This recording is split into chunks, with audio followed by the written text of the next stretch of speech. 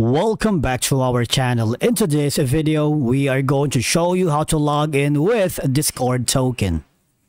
Let's begin.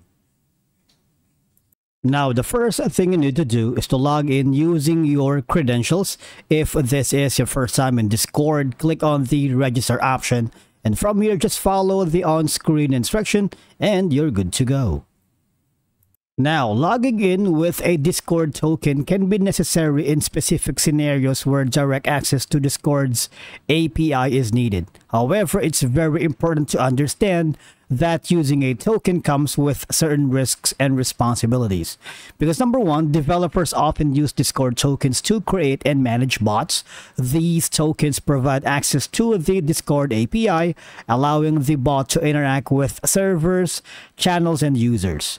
Tokens can be used to automate certain tasks on Discord, such as message logging, moderation actions, or data analysis, and it is very helpful for server management for analytics purposes. The thing is, how do we log in with a Discord token? It's very easy because all you have to do is now, before you can log in with the Discord token, make sure that you are using the web or your computer because it's not doable using your mobile device.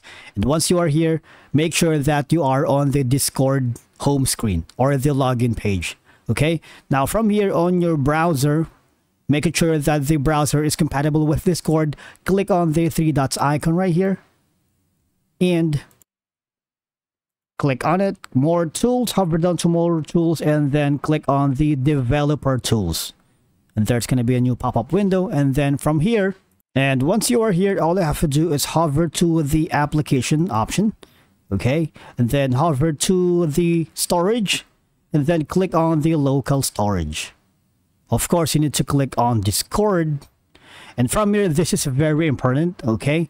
Just hover down to the bottom part where you have like an empty uh, box or column. All right, so type in token. Now, when you do that, just log in the value for your token and make sure, once again, that the values will correspond to the right I'm gonna for now I'm gonna put some random things right here because if you see my token value here you would be able to use it and you can log in my credentials all right? But for now um, if you have the right value okay I'm gonna blur out my value for now. And then after saving it just press enter and then just refresh this or reload the page and you would be able to log into your Discord account. Now let me try it. I'm gonna delete the value and I'm gonna refresh this one, okay? Okay, there you have it. And I believe that that's a wrap for today's video. Thank you so much for watching. We will see you in the next one.